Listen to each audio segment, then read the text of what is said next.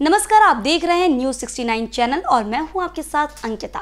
चलिए रुक करते हैं खबरों की ओर। धनराज डूमा ने पुलिस अधीक्षक कार्यालय में शिकायत देते हुए बताया कि वह प्रभात नगर कठोंदा थाना मारूताल क्षेत्र में अपने परिवार के साथ रहता है।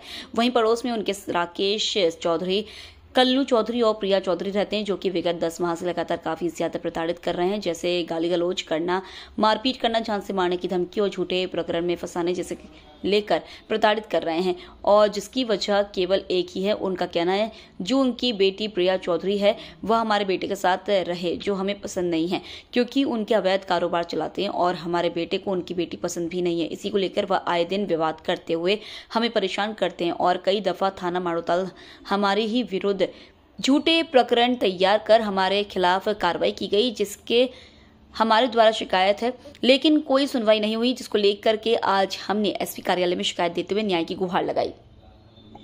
जबलपुर से न्यूज़ सिक्सटी नाइन के लिए वाजिद खान की रिपोर्ट। जब बोलेंगे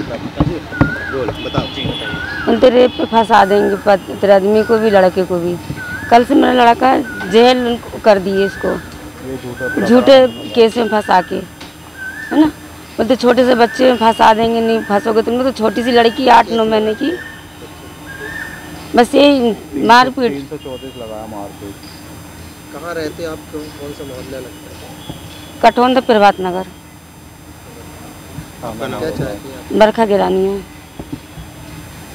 रोहतास थाना क्षेत्र से एक फरियादी आए थे आपसे मुलाकात की है। कुछ शिकायत दी है उनमें अपने पड़ोसियों के विषय में क्या था पूरा मामला?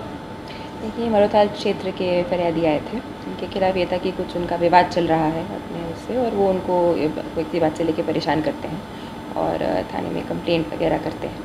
तो इसी बात को रेफरेंस में उन्होंने कुछ अपने कंसर्न्स यहाँ बताए हैं। तो उसमें इस मैटर की जाँच की जाएगी और जो भी तथ्य आएँगे उसके ऊपर कर, उस हिसाब से कार्रवाई की जाएगी। इसी तरह की और खबरें देखने के लिए बने रहे हमारे साथ। देखते रहिए न्यूज़ 69 चैनल जब तक के लिए धन्यवाद।